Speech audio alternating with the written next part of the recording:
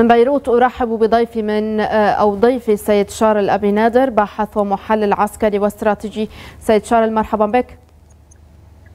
مساء الخير أهلا. إذا يبدو أن التقدم الذي يحرزه نظام بات يزعج أنقرة. طبعا رأينا ذلك من خلال استهداف نقطة مراقبة مراقبة تركية لمروحية للنظام ومقتل طاقمها يعني لا شك يعني كما تفضلت أن التقدم الذي يحرجه الجيش العربي السوري هو بدأ يحرج الأتراك.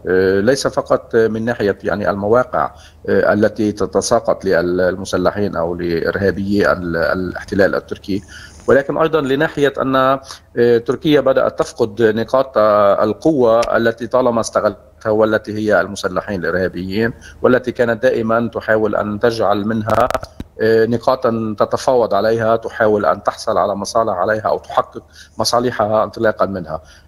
هذا هو يعني المبدأ الذي دفع الأتراك لهذا الجنون هم بطريقة مباشرة أو غير مباشرة بدأوا يستعملون يعني الصواريخ المضادة للطائرات، بدأوا يستعملون الأسلحة النوعية وكأنهم يعني دخلوا في مواجهة شبه مباشرة مع الجيش العربي السوري. نعم اذا يعني هل سيغض النظام الطرف عن هذه الاستهدافات أم سيكون هناك رد مشابه من قبل النظام باستهداف إما تلك النقاط أم يمكن بشيء آخر مثلا؟ يعني مبدئيا يعني ليست المرة الأولى يعني ربما نعم. هي الطوافة الثانية في المرحلة الأخيرة وأيضا الاحتلال التركي يستهدف أكثر يعني أو استهدف أكثر من مرة عدة نقاط الجيش السوري. طبعا يعني المعركة مفتوحة الآن، لا أعتقد أن الجيش العربي السوري سوف يتراجع. واضح أنه هو جاهز ربما لكي يتحمل الخسائر. هو بالنهاية يدخل في معركة أساسية ومعركة مفروضة ومعركة ربما انتظرها منذ فترة والتي هي المواجهة المباشرة مع الاحتلال التركي الذي كما قلنا طالما كان يعني يواجه الدولة السورية والشعب السوري عبر المسلحين الإرهابيين.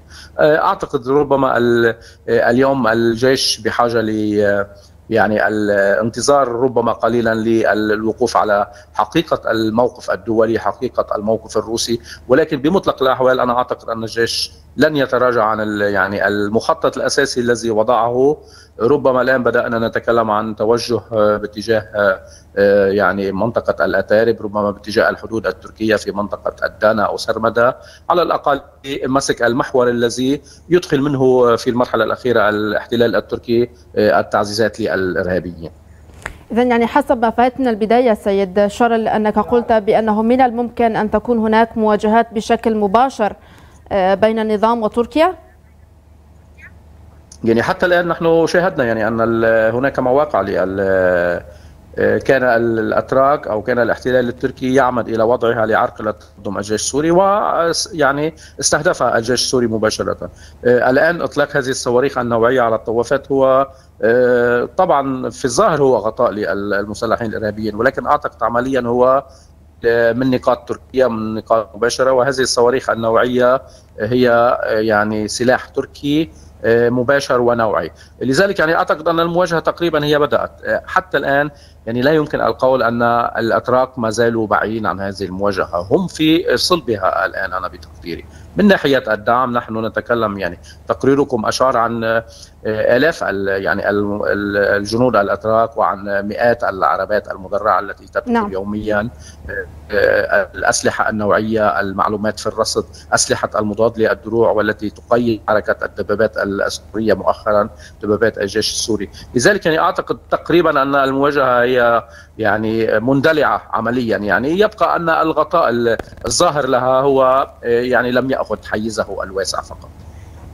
نعم أشكرك جزيل الشكر على كل ما تفضلت به ضيفي من بيروت السيد شارل أبي نادر باحث ومحلل عسكري واستراتيجي.